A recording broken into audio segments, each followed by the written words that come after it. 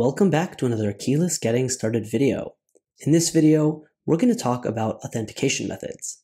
Authentication methods are mechanisms that humans or machines use in order to prove that they are who they say they are in order to access a service. In our case, we're talking about accessing secrets in Akeyless, and workloads in humans can access Akeyless using various methods, including the web console, browser extensions, CLI, and our SDKs.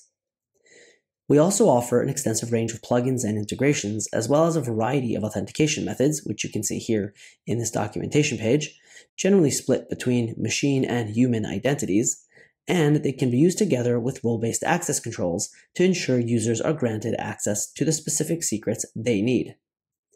The list you can see includes integrations with OIDC, SAML, LDAP, as well as Cloud IAM and Kubernetes. It's important to note that Cloud and Kubernetes authentication methods that we offer actually enable authentication without the need for a password or API key. So in this example, we're going to go ahead and demonstrate creating a simple API key that will generate login credentials for either human or machine access, but in this case, we'll only show you how a human user will use it to log into their account for this video. So let's go ahead and get started. All right, so the first thing we're going to do is go into our console, click on Users and Auth Methods, go ahead and click New, choose API key, click Next. We'll call this API Auth 1, and you can set your TTL here. And you can also choose to require subclaims. In this case, we're just going to do the basic setup. Go ahead and click Finish. And on your screen, you're going to see your authentication method here with the access ID and access key, which you're going to want to go ahead and save for later in order to make use of. So you can go ahead and save it to a CSV file, for example, or you can go ahead and just copy the information and then go ahead and click close. Now let's go ahead and do the same thing, except we'll do this from the CLI.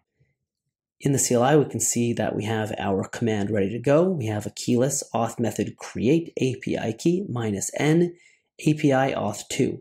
We don't want to trample the previous API key name because if we tried, it would give us an error. When you go ahead and click enter, it's going to go ahead and give us the details as we can see here, we have our access ID and our access key, which we can save for later. So that's how you create a new API key authentication method for Akeyless from the UI as well as the CLI. And in the next video, we're going to talk about how to use role-based access control and access roles in order to give specific permissions to this authentication method. Thanks so much for watching.